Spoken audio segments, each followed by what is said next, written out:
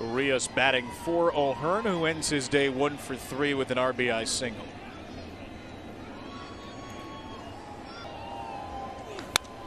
That ball smacked, that's fair. Ramon Urias off the bench will deliver another extra base hit. It's a double for Ramon, the Orioles' sixth extra base hit. Double of the year, and he rifles this one right down the third baseline. A nice effort by Ibanez. Can't come up with it. Line here for Chasen